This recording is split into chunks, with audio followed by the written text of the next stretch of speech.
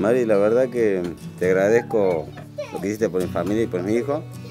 Y como te dije, te por mensaje, la verdad que por ahí me emociona un poco al deseo, pero gracias a vos es todo esto y la verdad que no, no lo puedo creer. Te agradezco, María.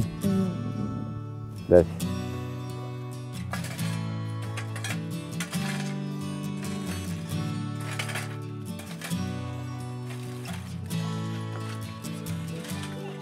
Eh, a mí me tocó ser censista el día miércoles, eh, a mí me tocó otras calles, no acá. Eh, entonces, justo estaba acompañada de una, de una señora conocida y le dije que la iba a ayudar para, que sea todo más rápido. En eso vamos caminando y nos encontramos con Alejandro, que él estaba ahí esperando el, el censista que todavía no había pasado. Entonces le, dije que yo le iba, le iba a hacer la encuesta. Así que bueno, ahí empezó todo esto ahí empecé a hacer la encuesta. El tema fue que ese día del censo yo tenía que trabajar y bueno, este, la gente pasó por el frente censando y para acá nunca llegaron, entonces ya eran una y media y le digo a mi hermano, vení buscamos, vamos a trabajar, le digo, porque perder mediodía para mí era, mucho.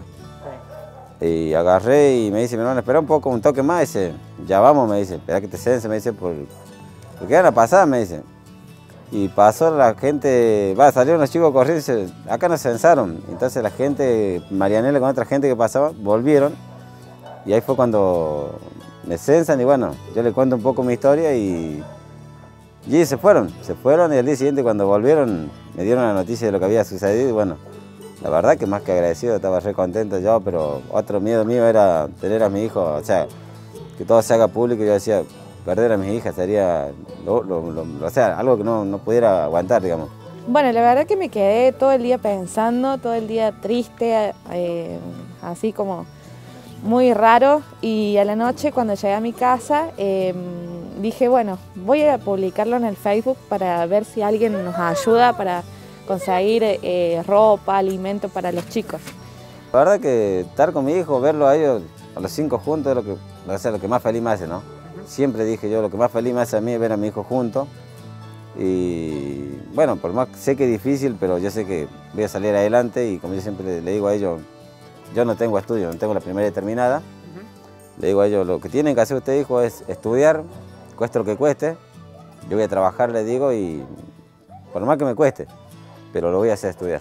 Nosotros ahora estamos necesitando lo que es temas materiales, eh, hemos puesto una cuenta de CBU para la gente que quiera ayudar porque me han escrito de, otras provincias, hasta de otros países también, eh, que querían ayudar, así que bueno, está esa cuenta. La verdad que yo siempre he sido una persona que, ha trabajado humildemente, siempre dijo, bueno, yo vivo en un rancho, yo lo llamo mi ranchito, ¿eh? yo vivo en un rancho, digo, bueno, es mi rancho y la verdad que yo sé que de acá nadie, nadie me va a sacar y bueno, no tengo que alquilar a nadie, no me puedo endeudar y bueno. Y venía comprando así de, bolsa por quincena de cemento, que tengo guardado un par de bolsas como para empezar esto, que es lo, mi sueño de algún día, tener algo para los chicos. Claro.